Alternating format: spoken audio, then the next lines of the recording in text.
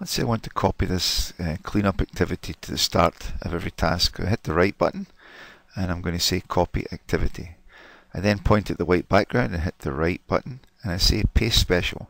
I paste it at the start of every task and it puts it down here. Now if I realize I've made a mistake, I hit the right button, I can click on the undo and what it's going to do is going to undo that last activity. So I click on that and it removes them all down here again.